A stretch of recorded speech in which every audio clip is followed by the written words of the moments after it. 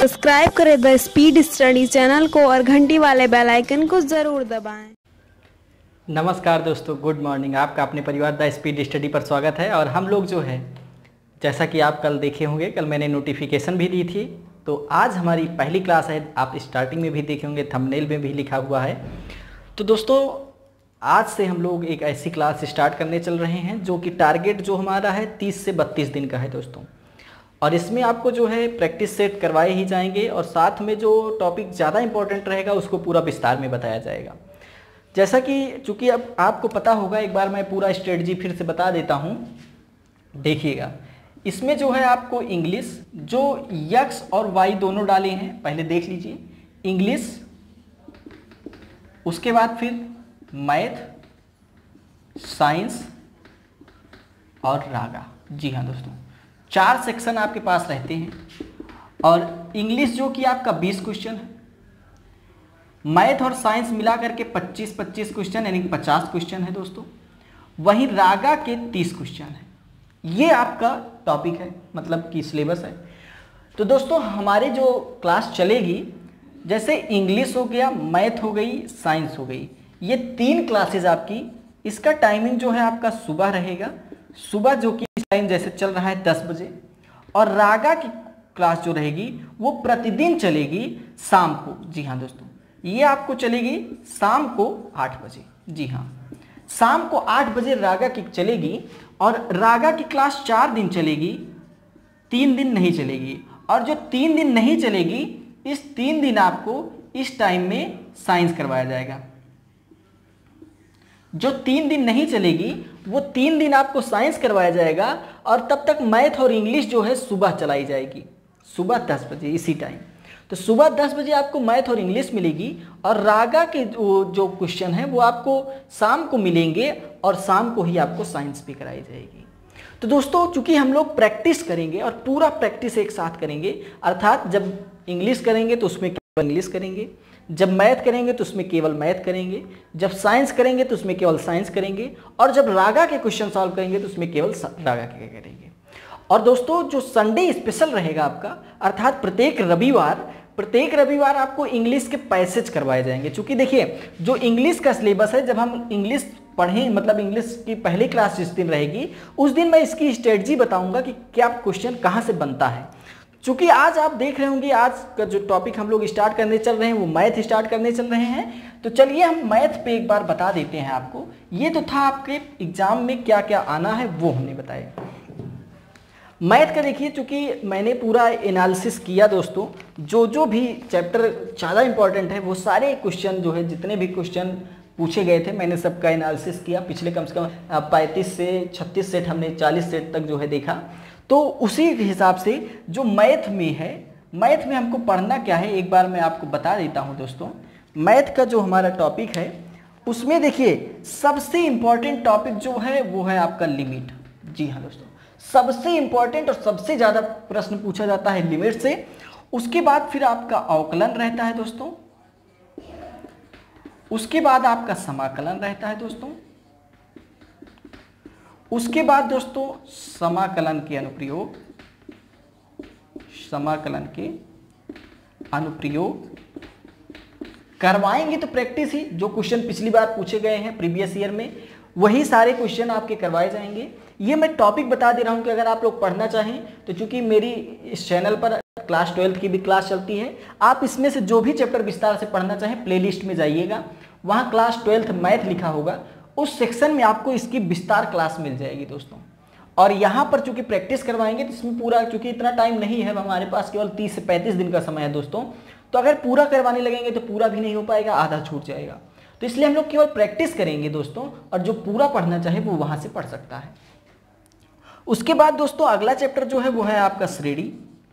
अगला चैप्टर जो है वो है निर्देशांक ज्यामिति।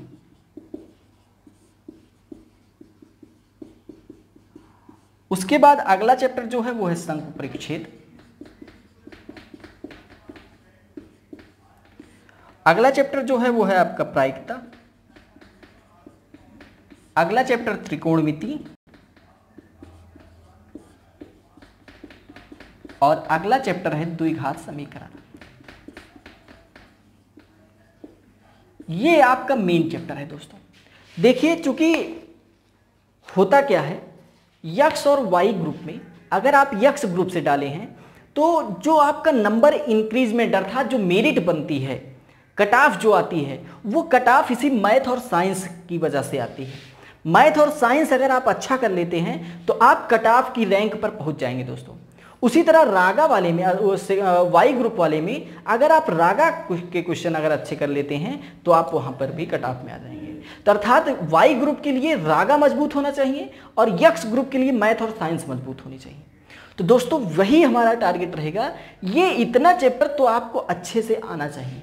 अगर इसमें से कोई भी चैप्टर में प्रॉब्लम हो तो दोस्तों आप कमेंट करिएगा और कुछ क्लासेस वहाँ चली भी हैं क्लास ट्वेल्थ की मैथ में और कुछ चलेंगी भी। तो अगर जो है, आप इसमें कमेंट करेंगे, बताएँगे कि सर ये चैप्टर नहीं आता हमको तो उसमें देखेंगे कि अगर आप लोग का इंटरेस्ट रहेगा तो वो चैप्टर आपको संडे स्पेशल में करवा दिया जाएगा दोस्तों।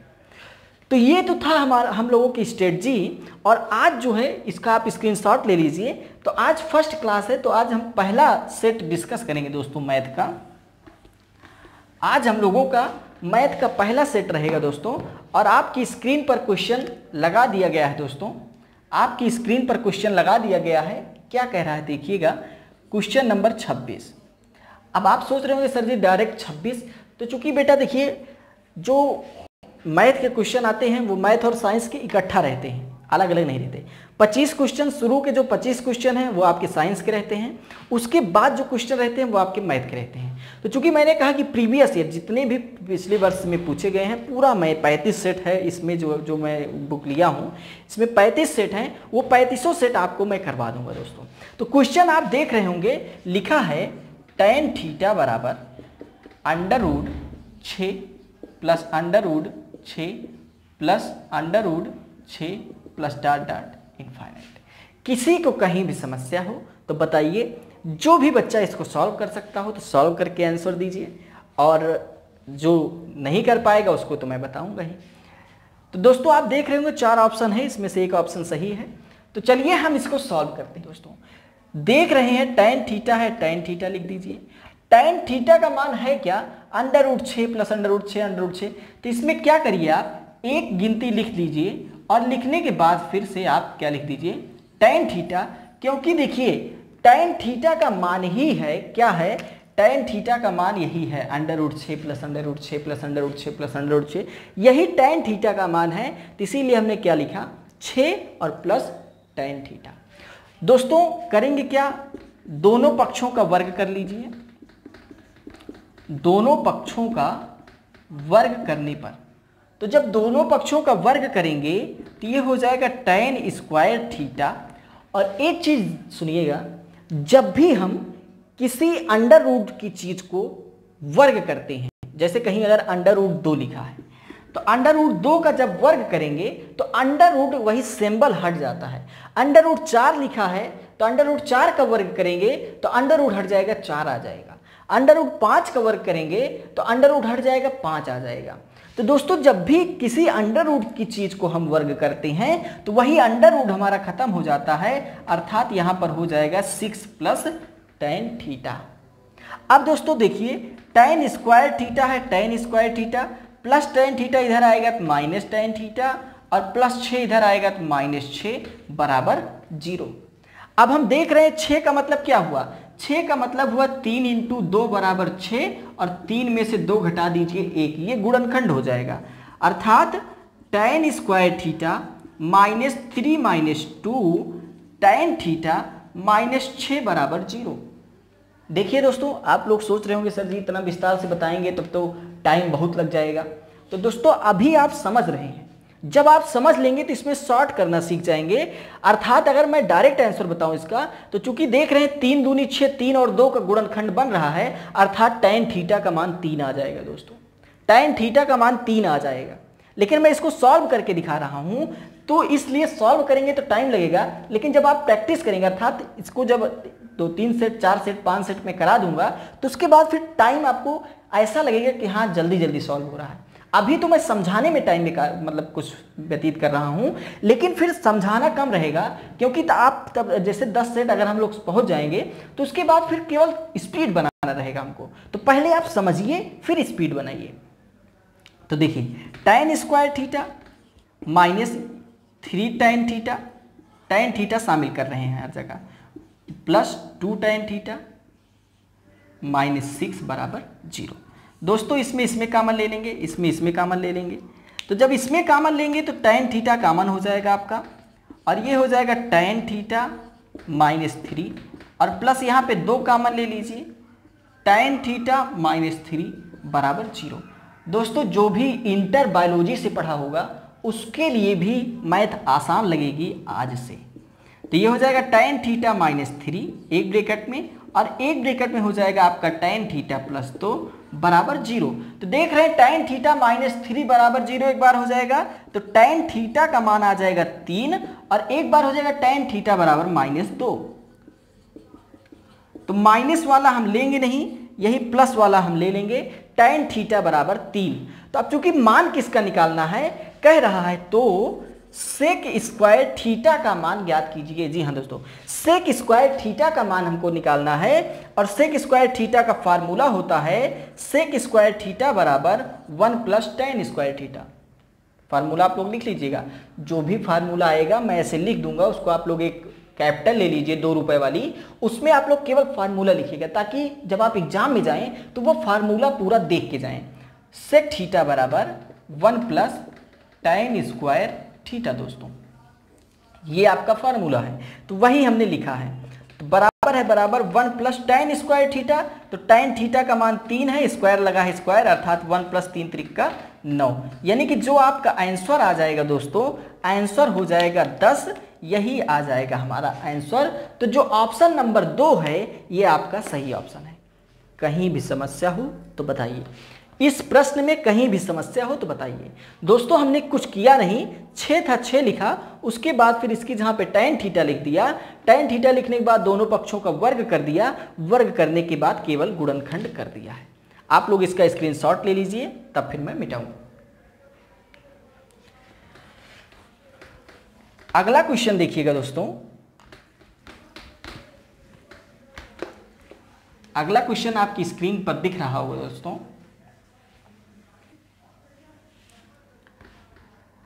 अगला क्वेश्चन क्या कह रहा है? सुनिएगा। त्रिभुज ए बी सी में, सुनिएगा।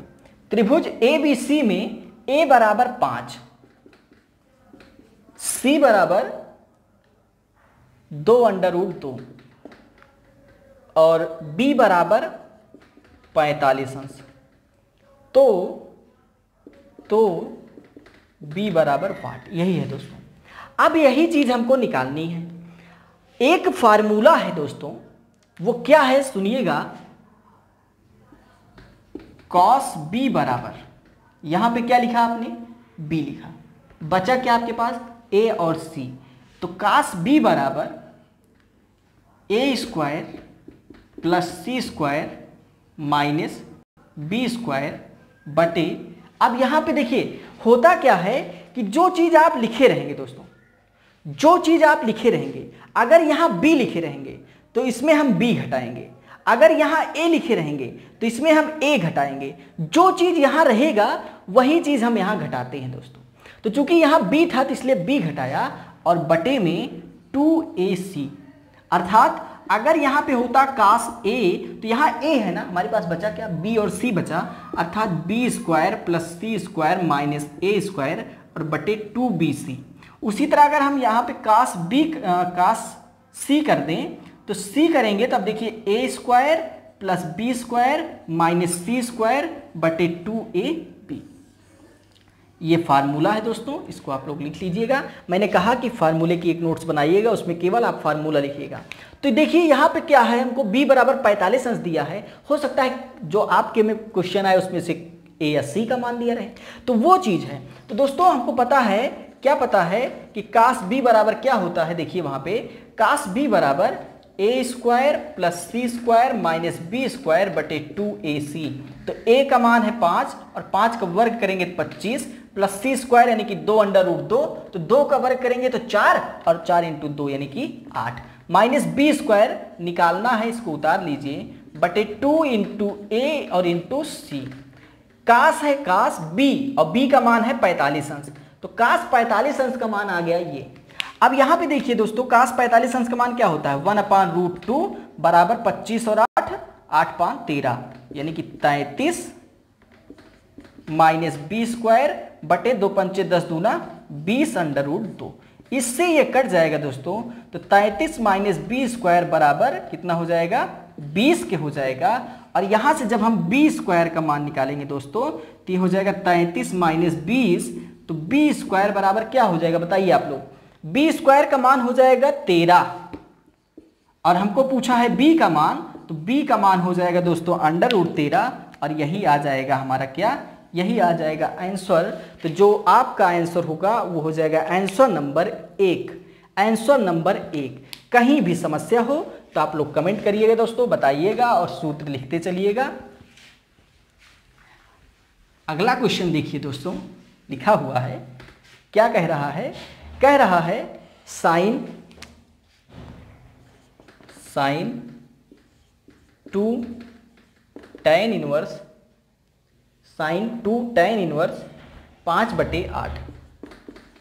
अगला क्वेश्चन यही है दोस्तों, अब हमको निकालना क्या है, इसी को हल करना है। कह रहा है, इतने का मान है। जी हाँ दोस्तों, इतने का मान है तो सबसे पहले तो आपको टेन इनवर्स का फार्मूला पता होना चाहिए दोस्तों। तो देखिए, अगर कहीं पर अगर कहीं पर साइन साइन इनवर्स यक्स बराबर two x upon one plus x square या फिर टेन इनवर्स यक्स बराबर sine inverse two x upon one plus x square जी हाँ दोस्तों, ये है आपका फार्मूला टेन इनवर्स यक्स बराबर साइन इनवर्स टू यक्स बटे वन प्लस यक्स स्क्वायर ये फार्मूला है आपका। अब हमको पता है कि क्या पता है? साइन है साइन लिख लीजिए। ठीक? अब यहाँ पे टेन इनवर्स नहीं टू टेन इनवर्स है। यहाँ पे देखिए two tan inverse x x की जहाँ पे क्या लिखा है? यक्स की जहाँ पे लिखा है पाँच बटे आठ। जी हाँ दोस्तों, यक्स की जहाँ पे लिखा है पाँच बटे आठ तो जहाँ जहाँ यक्स है, वहाँ वहाँ हम पाँच बटे आठ लिख देंगे। अर्थात ये हो जाएगा साइन और ब्रेकेट के अंदर इसकी जहाँ पे क्या हो जाएगा, साइन इनवर्स टू यक्स और बटे वन प्लस यक्स स्क्वायर और यक्स का मान है पाँच बटे आठ का होल स्क्वायर। अर्थात साइन से साइन कट जाएगा आपका, दो इकन्नम दो दो चौक आठ, यानी कि पाँच बटे चार बटे वन प्लस पच्चम पच्चीस बटे आठ अठाई चौंसठ। या फिर पाँच बटे चार बटे चौंसठ इकन्नम चौंसठ और प्लस पच्चीस दोस्तों। बटे चौंसठ है चौंसठ। अब देखिए, ये चौंसठ ऊपर चला जाएगा, ये दोनों बीच में हो जाएँगे। अर्थात ये हो जाएगा पाँच इंटू चौंसठ बटे, इसको जोड़ेंगे तो पाँच चार कितना हो जाएगा? नौ छः दो, आठ, नवासी और इंटू चार। तो देखिए, चार इकन्नम चार चार छन चौबीस, ठीक? सोलह सोलह इंटू पाँच करेंगे तो सोलह पंचे क्या हो जाएगा बताइए? सोलह पंचे अस्सी और बटे नवासी। जी हाँ दोस्तों, यही आ जाएगा आपका क्या? यही आ जाएगा दोस्तों आंसर अब देखिए, अस्सी बटे मतलब कि 80 बटे नवासी। अब इसमें देखिए, चार ऑप्शन दिया गया है और चौथा ऑप्शन लिखा है, इनमें से कोई नहीं तो यही हमारा सही हो जाएगा, इनमें से कोई नहीं। दोस्तों, अगर मज़ा आ रही हो तो लाइक करिएगा शेयर करिएगा दोस्तों शेयर करिएगा, ये आपका कर्तव्य है। और कमेंट करके बताइएगा कि समझ में आ रहा है कि नहीं। और जो अगर कुछ इंप्रूवमेंट चाहते हो तो उसको भी बताइएगा। अगला क्वेश्चन देखिए दोस्तों, अगला क्वेश्चन क्या लिखा है? कह रहा है ए बराबर, आपकी स्क्रीन पर है अगला क्वेश्चन ए बराबर वन फोर टू फिर two minus one four lambda सात और माइनस छ कह रहा है दोस्तों कि ए इनवर्स ए इनवर्स अस्तित्व में नहीं है। जी हाँ दोस्तों, कह रहा है प्रश्न में प्रश्न में कह रहा है कि ए इनवर्स ए इनवर्स अस्तित्व में नहीं है। तो दोस्तों ए इनवर्स अस्तित्व में कब नहीं रहता? जब आपका माड ए का मान ज़ीरो आ जाए, जब आपका माड ए का मान ज़ीरो आ जाए, तब आपका ए इनवर्स अस्तित्व में नहीं रहता। तो इसमें यही कह रहा है कि अस्तित्व में नहीं है तो लेमडा का मान क्या होगा? इसका मतलब कि इसका माड ए निकालेंगे तो ये बराबर होगा ज़ीरो के। तो चलिए दोस्तों, इसका माड ए निकालते हैं। तो जब आप माड ए निकालेंगे तो क्या हो जाएगा? भाई, एक और ये रो और कालम खत्म हो जाएगा दोस्तों। तो ये और ये खत्म हो जाएगा तो एक इंटू छः करेंगे तो छः हो जाएगा, माइनस चार सते अट्ठाईस। उसके बाद दोस्तों, माइनस बीच वाला जब दो लिखेंगे तो ये और ये खत्म हो जाएगा, अर्थात चार छंग, चौबीस तो माइनस चौबीस, और माइनस इसका इसका गुणा करेंगे तो दो सत चौदह दोस्तों।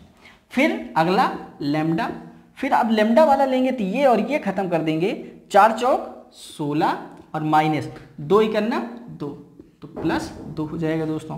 अब देखिए, माड ए तो माड ए बराबर ज़ीरो लिखा हुआ है। तो ज़ीरो बराबर छ माइनस अट्ठाईस तो बाईस छः अट्ठाईस होता है, बाईस हो जाएगा दोस्तों। माइनस दो, चौबीस और चौदह तो चौबीस चार, अट्ठाईस अट्ठाईस दस, अड़तीस। तो माइनस अड़तीस प्लस लेमडा और सोलह प्लस दो तो सत्रह, अट्ठारह हो जाएगा दोस्तों। अब देखिए, ज़ीरो है ज़ीरो, बराबर है बराबर, माइनस बाईस है बाईस, माइनस माइनस प्लस। और अड़तीस दूना, तीस दूना साठ, आठ दूना सोलह, यानी कि छिहत्तर। और प्लस अट्ठारह लेमडा। अब इसको घटा देंगे दोस्तों तो बाईस चार चार हो जाएगा। और उसके बाद फिर पाँच चार, यानी कि चौवालीस। प्लस अट्ठारह लेमडा, ये बराबर हो जाएगा ज़ीरो के। तो 18 लेमडा बराबर हो जाएगा माइनस चौवालीस के। तो यहाँ से लेमडा बराबर निकालेंगे तो माइनस चौवालीस बटे अट्ठारह। किसी को कहीं समस्या हो दोस्तों तो बताइए। आगे देखिए इसको जब सॉल्व करेंगे दोस्तों। इसके आगे जब सॉल्व करेंगे, कहीं भी समस्या हो तो बताइए, आप लोग स्क्रीनशॉट इसका ले लीजिए। माइनस अट्ठारह बराबर रुक जाइएगा, यहाँ चौवालीस नहीं, चौवन होगा। तो 18 अट्ठारह दूनी छत्तीस अट्ठारह तिरिक चौवन यानी कि लेमडा बराबर माइनस तीन। यही आ जाएगा आपका आंसर दोस्तों। लेमडा बराबर माइनस तीन यही आ जाएगा आंसर दोस्तों। तो आज कुछ नेटवर्क की प्रॉब्लम आ रही है दोस्तों। आज फ़र्स्ट डे था तो हो सकता है कि थोड़ा आ, मैं पहले छोड़ना पड़ रहा है हमको। बंद करनी पड़ रही है क्लास। लेकिन दोस्तों शाम को इसको आपको जो है, मैं पूरा करा दूँगा, कल करा दूँगा। आगे से मतलब कि सारी जो है, पूरी चलेगी, क्योंकि यहाँ पे नेटवर्क की समस्या रहती है। इसलिए जो है बीच बीच में प्रॉब्लम हो जाती है दोस्तों। तो आप लोग जो है इसको देखिएगा, सॉल्व करिएगा। स्ट्रेटजी मैंने पूरी बता दी है। और वहाँ पर प्लेलिस्ट में जब आप जाएँगे तो उसमें मैथ क्लास ट्वेल्थ लिखा हुआ है तो वहाँ का कुछ मैथ आप लोग पढ़ लीजिए, जैसे अवकलन करवाया गया है तो अवकलन आप पढ़ लेंगे तो उसमें आपको समाकलन भी पढ़ने में समस्या नहीं होगी दोस्तों। तो आप लोग बने रहिएगा हमारे साथ, देखते रहिए, ठीक? तो मिलेंगे अगले वीडियो में और आपकी क्लासेस लगातार चलती रहेंगी दोस्तों, और ज़्यादा से ज़्यादा शेयर करते रहिए कमेंट करते रहिए लाइक करते रहिए, नमस्कार, धन्यवाद।